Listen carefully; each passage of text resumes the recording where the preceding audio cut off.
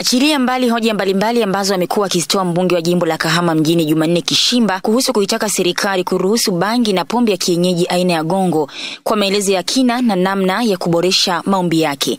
Mei 28, 2020 katika mkutano wa 19 kikao cha 39 wakati akichangia hoja ya kamati ya kudumu ya huduma za serikali za mitaa mbunge wa Kahama mjini kupitia CCM Jumanne Kishimba ameiomba serikali ifungue chuo cha wizi kwa kuwa matukio ya wizi katika sekta za umma na halmashauri nyingi umeshamiri kwa kiasi kikubwa, na kwamba chuo hicho kitasaidia wale watu wanaoenda kuchunguza wezi kuzijua mbinu zao na kuwabaini. Tatizo kubwa sana naliona hapa ni swala la wizi, Mheshimiwa Naibu Spika, na ukiangalia kesi zilivyo sasa hivi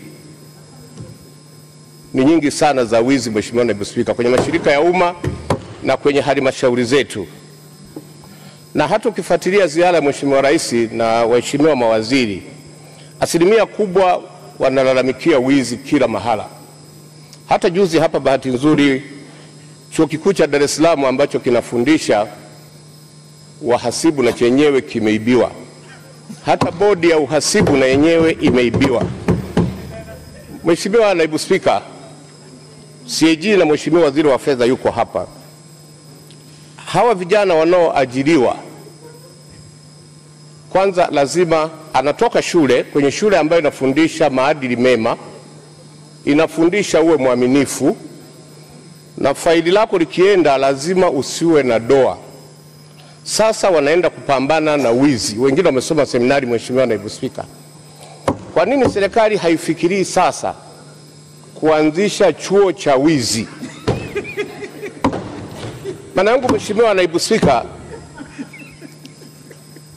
anapochaguliwa mtu kwa sifa ya uaminifu kwenda kupambana na wezi, anaenda kupambana nao namna gani? Afadhali apite kwenye chuo hicho kwa miezi mitatu, ajue breni ya wizi. Mheshimiwa Naibu Spika, Mheshimiwa Naibu Spika, polisi wanafundishwa bunduki lakini hawajawahi kuwa majambazi. Mheshimiwa Naibu Spika, wanajeshi wanafundishwa mpaka mabomu, hawajawahi kusikia wameteka.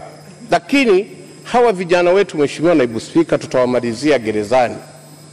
Hali ya wizi ni mbaya sana, hata sisi kwenye taasisi binafsi, Mheshimiwa Naibu Spika, hali ya wizi ni mbaya sana.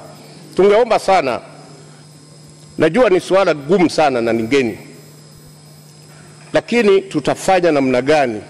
Mtu hajui wizi, na faili la, la ajira linataka uwe mwaminifu, mwadilifu, unaenda kupambana, unatoka Mzumbe, Mheshimiwa Naibu Spika, university unaenda kupewa national housing, lile dude kubwa kama lile, hujui chochote, Mheshimiwa Naibu Spika. Kwa hiyo tunaomba sana Mheshimiwa Waziri wa Fedha na CAG, mnaweza mkatafuta jina lingine kama kulitamka jina kwamba ni chuo cha wizi, mnaweza mnaweza mkafikiria jina lingine, lakini Mheshimiwa Naibu Spika, kuna haja ya msingi sana. Mheshimiwa Naibu Spika, ni vizuri tufikirie sana